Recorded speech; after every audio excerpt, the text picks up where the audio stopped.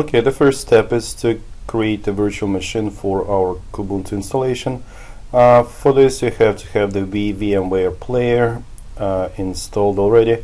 If you don't have the VM, uh, VMware player installed then you have to uh, go to the website for the VMware player and download and do the installation. So once you have installed uh, the player and you started, this is the interface that you will see. Um, uh, the list of the virtual machines in your case will be empty. I have uh, one virtual machine, but we're going to create a new one. To create a virtual machine, use this create new virtual machine link. Click on it, and you will see three options. Uh, the option that we are going to use is the third one. I will install the operating system later. Okay, so don't choose to use the installer disk, don't choose to use the image disk file uh, choose to install the OS layer, third option. So click next. Uh, the OS that we will be installing is Linux, so choose Linux, and now we need the version. Uh, when you open this uh, drop-down menu, you will see a list of options available. Okay, the one that uh, you will need to choose is the other Linux. I don't think it actually fits um, in the recording area but when you scroll down you will see other Linux 3.x kernel. Okay so choose this one other Linux 3.x kernel. So once again you need to open it. You need to scroll all the way down and you will see other Linux 3.x kernel. Okay. So once you do that click next uh, the name for the virtual machine. It's important to name your virtual machine properly. We will be installing Kubuntu 14.04 LTS long-term support. So that is how we're going to name and we will also be installing 32-bit version. So let's name it um, Kubuntu 14.04 LTS 32-bit. Um, as you type the name for the virtual machine, you will see that the location uh, will be updated and uh, the folder for the virtual machine will be created. By default, that folder will be in uh, your user account, documents, virtual machines. Okay, if you want to change it and store it somewhere else, click browse button and do that, but I will keep it in this default location. So click next. Now we need to do some basic configuration for this virtual machine.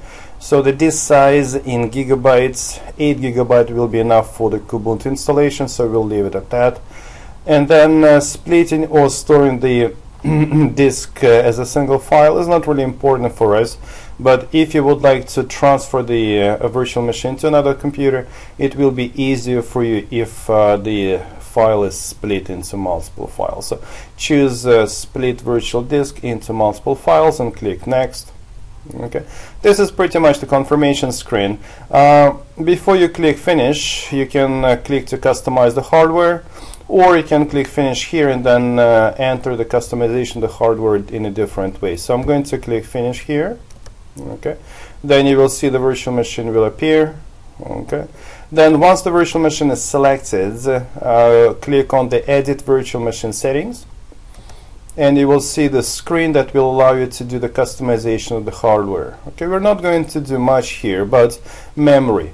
Uh, as you can see by default, uh, 256 megabyte of memory has been given. That is not enough. Okay, we are going to bump it up to around one gigabyte.